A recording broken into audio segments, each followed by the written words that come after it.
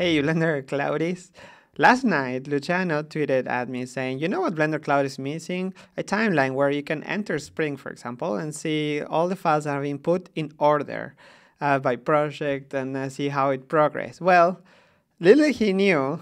Well, it, he's uh, uh, he's asking because the the front page of the Blender Cloud has a. It was mainly focused on the blog, and then on the side you will see like the assets that the people will re, will be uploading. But uh, maybe sometimes if the someone got really inspired and, and dumped a lot of files at once, then you would miss what was new.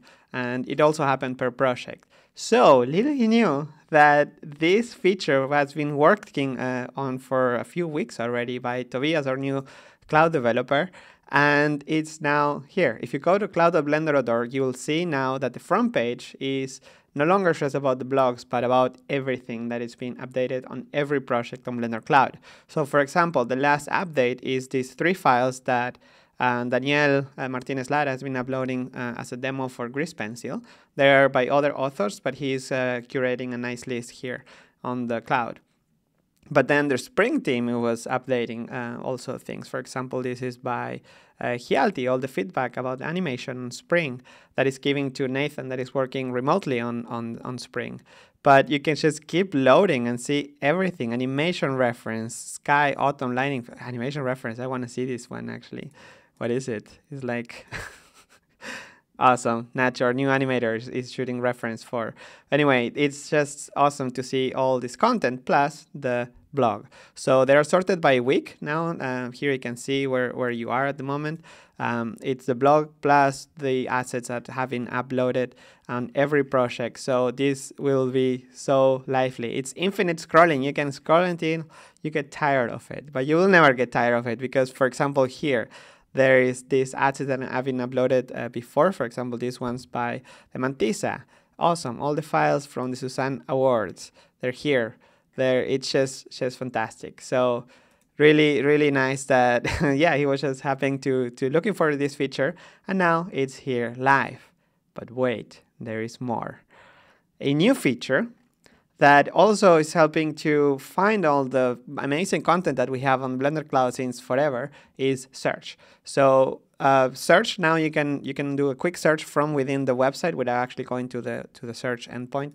So basically you just click on the search icon and then you can just start typing to whatever. So like smoke, you can see, oh, oh, nice, there's a lot of smoke. So even in the agent, there is smoke simulation because of the spray on Boris' face.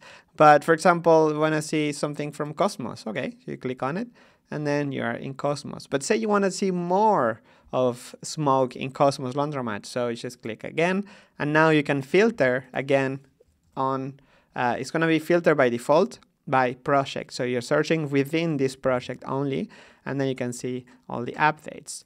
But you can also sort uh, like search again on the cloud and this update, this list of, of uh, news, it's per project. So for example, if you are in um, the uh, Cosmos Laundromat project, you can just scroll and keep uh, loading all the files as they were uploaded.